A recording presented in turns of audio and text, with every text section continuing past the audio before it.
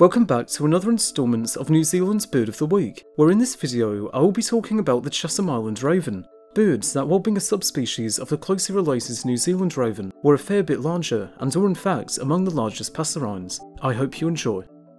Chatham Island ravens were the larger of the two extinct raven subspecies found in New Zealand, weighing up to a kilogram, putting them alongside other ravens and the superb lyrebird of Australia as one of the largest passerines.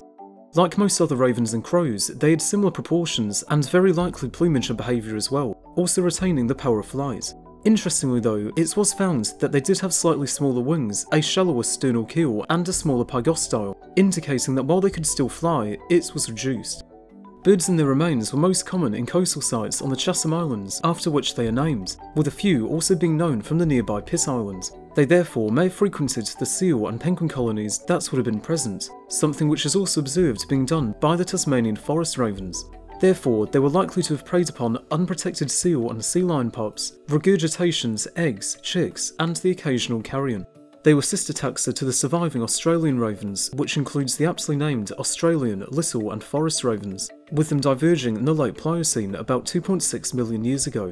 It was originally thought that the Chatham Island birds were a separate species to the mainland ravens, although a 2017 genetic research paper determined that the two populations were in fact subspecies rather than being two separate ones, splitting around 130,000 years ago.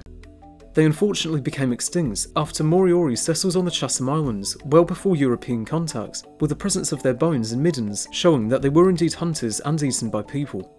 Other factors may very well have included the enormous destruction of the once numerous seal and seabird colonies which they relied upon for food, with said overhunting also affecting the mainland ravens. And with that, I thank you for watching this instalment of New Zealand's Bird of the Week. For next time, you are now able to vote for the spur-winged plover, bold and territorial birds that are notable for arriving in New Zealand and going from fully protected to having said protection removed 80 years after their first breeding record. With that, I'll see you next time, whenever that may be.